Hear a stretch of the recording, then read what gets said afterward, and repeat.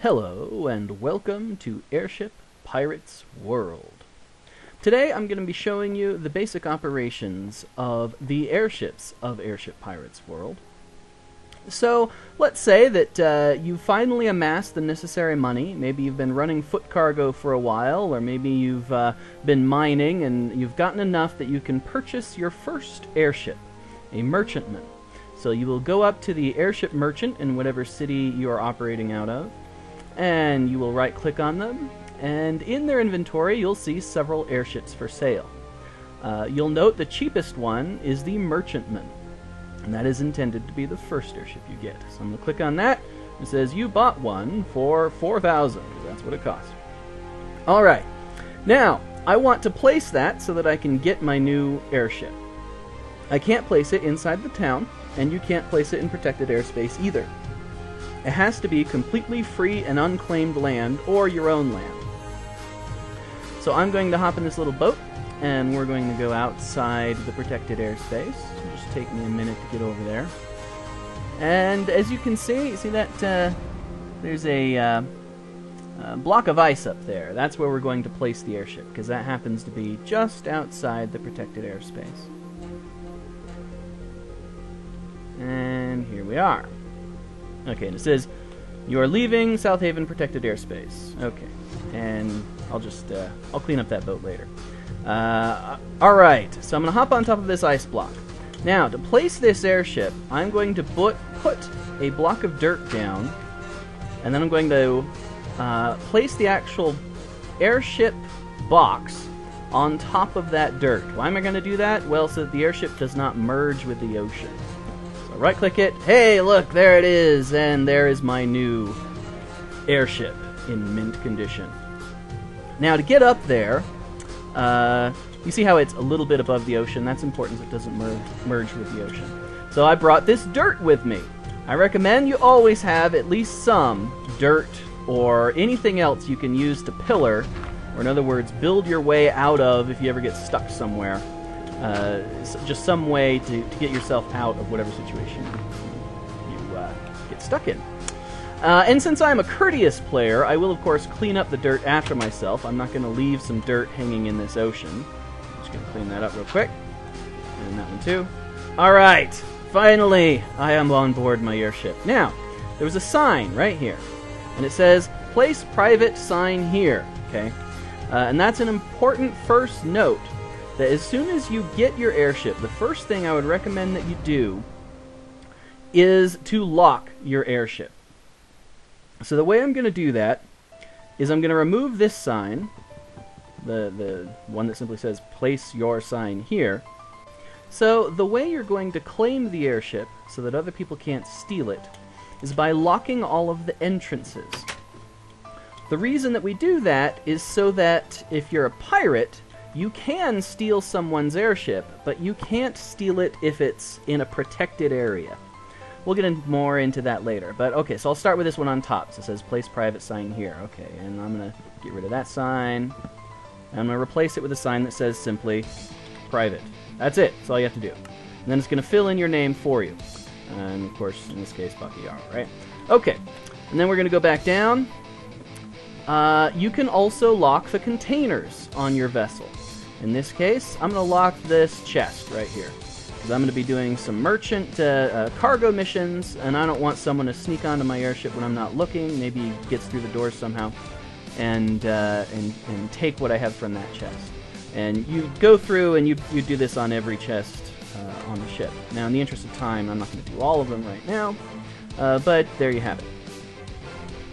Okay, and then the last thing to do is the main entrance, which uh, I guess I got rid of that little dirt sooner than I probably should have. So I'll put myself on a little ledge here, and I will add a sign. I'm holding down shift when I right click, by the way.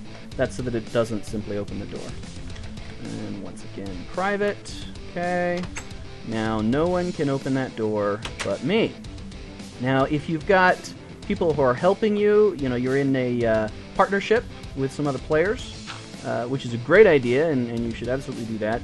Uh, you can also add their name on here, so you can have more than one name on this sign. Uh, and uh, if you run out of space on this sign, you can still add even more. Uh, I'll show you how to do that in a different video. Uh, this is just kind of the basics. Alright, and once again, I'm a courteous player, so I will clean up my dirt. Okay. So those signs uh, will protect all of those uh, from other players. Uh, they can, however, be destroyed with explosives. Uh, so in a battle, uh, your signs could be destroyed, or if you're a pirate, you loot someone else's ship, and if I want what's in that chest, then I'd place some TNT next to it, and I basically blow the lock off. All right. Now, of course, as you can imagine, there's some risk there, right? Because that chest might be empty, or it might be full of wheat, or something that's not worth very much, and I just wasted my TNT. So, you know, there's a, there's a certain uh, give and take in the whole looting uh, system. Alright, but let's get to the good part. So now we're going to take command of our new airship. All you do is you right click on the sign which says airship. If this was a sub airship or a submersible airship, it would say sub airship or big airship or air skiff for one of the little fighters and so on. You right click like that, and it says, okay, successfully piloted craft, size, and it tells you the size. Very good. Now, there's the first thing I want to show you is the most best basic form of motion in Movecraft, which is you take out the stick, which is the basic piloting tool, and you simply right click in the direction you want the airship to travel. Uh, and I've got debugging mode turned on. That's why you see those little map update took. Uh, just ignore that. You won't see that uh, unless, well, unless you're me. um, but as you can see, you know, if I if I face down and I right click, the airship moves down. If I face up, it moves up. If I face forward and I right click, it moves forward. You'll also note it's kind of slow. I'm not getting closer to those buildings very quickly, right? Uh, but it does allow precision control. So you would typically use this for docking maneuvers uh, to get yourself right where you need to be uh, to dock your airship. Okay? Uh, and then there are other methods of controlling the airship. The next thing I will show you is the cruise sign. If I have the airship faced in the direction I want to travel, I can right click on the cruise colon off sign, it'll switch to on, and the airship will travel forward more quickly. And now you can see I am approaching that city more quickly. I'm just going to stop there. The next thing is the helm sign. That's this uh, kind of strange wheel icon thing. If I right click on it, the ship will turn right. If I left click on it, the ship will turn left. It's that simple. And then you have the ascend and descend signs. They work like the cruise. If I right click on ascend, the ship goes up. Uh, and if I right click on descend, it goes down.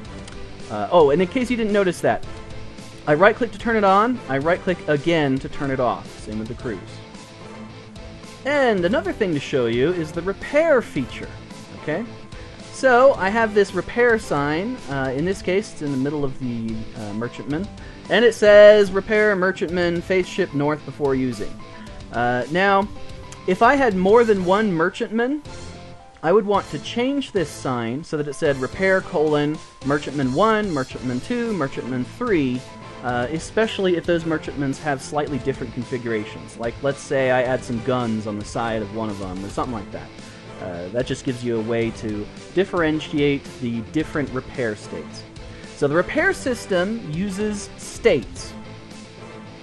You start by left-clicking on the repair sign, which I will do now, and it says State Save. What that means is it has remembered what the airship looked like at this particular point in time. Now, let me just look at my... Okay, so I was facing... The airship is currently facing south, which I could tell by hitting F3 and looking at the facing south. Um, and as the sign says, I should be facing north when I use that sign. The only reason why is because it's critical that the airship face in the same direction when you save the state as when you attempt a repair. Alright? Uh, otherwise, it doesn't know. Let's see. It's not aware of which way the ship is facing. Because there's not really a good way for it to detect that. So it, it just has to be shaping. I'm sorry, it has to be facing the same way when you save the state as when you use the sign. Uh, and if your ship has turrets or a cargo bay door or anything like that, all of those have to be in the same position when you use the sign, either to save the state or to attempt to repair. Alright, so I'm now going to do this again now that my ship is actually facing north. And it says, okay, stay safe. If I right click on this, it says total damaged blocks zero. So left click saves the state, right click attempts a repair. In this case, it's telling me there is no damage on this ship, so it's not going to repair this. No matter how much I right click, nothing's happening. But let's say there was damage. Let's say uh, this sign got destroyed. So I'm going to remove that sign. Okay. Now if I right click, it says total damaged blocks 1, because there is actually a damaged block. It says supplies needed, sign 1. And it's going to take $10 to effect the repair. It is going to pull those supplies from a chest anywhere on the ship. Okay? Uh, so I will put a sign. Actually, first let me show you what it does if there aren't enough supplies. So sometimes this list can get really long, right? And you need 400 wool, you need 30 slabs, you need a ton of things. So if you right click twice in a row, it will attempt the repair, and then it will say tell you what it actually still needs. So it looked in all the chests of the ship and it found that it still needed one sign. Okay, uh, so you do that if if your ship has if you have a bunch of supplies, which you should. You should always fly with spare supplies, spare parts, uh, and it that tells you what you're still missing. And all I need to do is put the sign in there, and I will right-click twice, and it will say repairs underway, and it's done already. So it just took it a second because that was a very simple repair. If that was a complicated repair, it might have taken several minutes for it to complete. So that's the repair system. For a merchantman like this, it's probably not a huge deal because they're not designed for combat. But once you get into the warships, uh, repairs become very important. The last thing to show you is the uh, locking mechanism. So every airship you can purchase has some kind of a lock on it. And it's very simple. It's just a lever next to a piston. The way the system works is you right click, the piston is extended, and this ship cannot be piloted. So I go to the front here and try to pilot this thing. Uh, if I right click on this, it says forbidden block was found on the craft. And the reason we do that is to keep people from being able to steal your airship by, for example, attaching their own airship to it, a larger airship, and trying to tow it away. Uh, it's so this is just a locking mechanism to prevent theft. And as you can see, it's very simple. I'll release it by simply right-clicking again, and now the ship can be safely piloted.